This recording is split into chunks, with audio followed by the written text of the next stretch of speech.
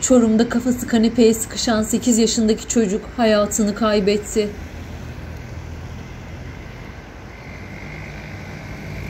Üç gün önce Akkent 4. Cadde'de bulunan evinde oyuncaklarını almak için kanepenin altına giren Sevgi Tuana K.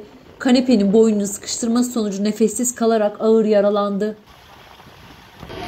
Durumun ihbarı üzerine belirtilen adrese polis ve sağlık ekipleri sevk edildi. Sağlık ekiplerince ilk müdahalesi yapılan küçük çocuk Hitit Üniversitesi Erol Olçok Eğitim ve Araştırma Hastanesi yoğun bakım servisinde doktorların tüm müdahalelerine rağmen 3 günlük yaşam savaşını kaybetti. Çocuğun cenazesi otopsi işlemleri için hastane morguna kaldırıldı.